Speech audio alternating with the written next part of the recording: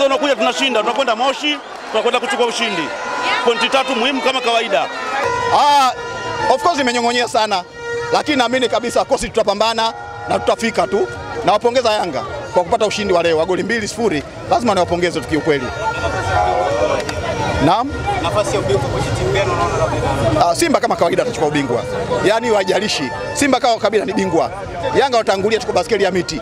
Simba tunapiga taratibu taratibu, tunakaa. Kuna muda wetu ukifika, tunakaa kileleni, yaani dakika za mwisho tunakaa kileleni, tunachukua ndoo. Mchezo wa leo ulikuwa mgumu kwa sababu Coast walikamia. Sawa, walikuwa wamecheza sana alafu, lakini utulivu wa wachezaji wetu, kwa utulivu wa timu yetu na timu yetu ni kubwa, imefanya mazuri, tumepata pointi point tatu. Huyu bwana analalamika, huyu mbona mapinduzi mmekosa, lakini hiyo mchezo una matokeo matatu.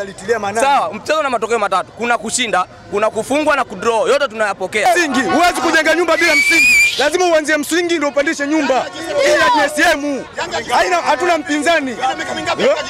Miaka minne, miaka minne tumejenga msingi. Sasa hivi njoo, ukija unapigwa, anayekuja ndani nje anapigwa. Hii.